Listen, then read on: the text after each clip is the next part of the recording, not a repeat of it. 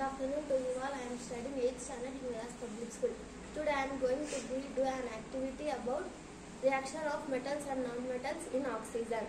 Now materials required for this activity are metal sample, candle, litmus papers, matchbox, beaker and water. Now take, take the metal sample with the help of spatula and burn it in the candle.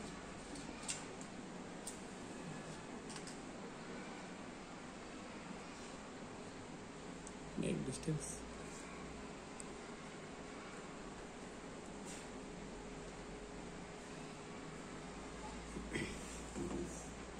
Burn the metal sample with the help of spatula.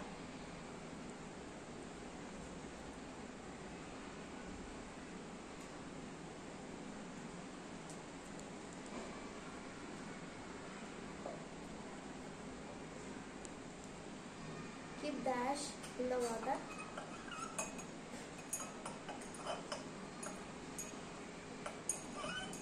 Stir it well.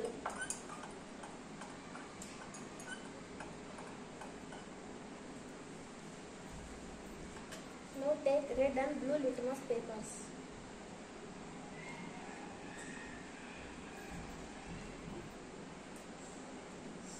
Keep the blue litmus paper in this mixture.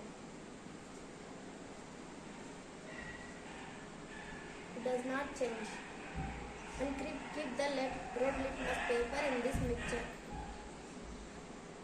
This mixture change into blue. So I confirm that every every metal produce basic oxide in nature.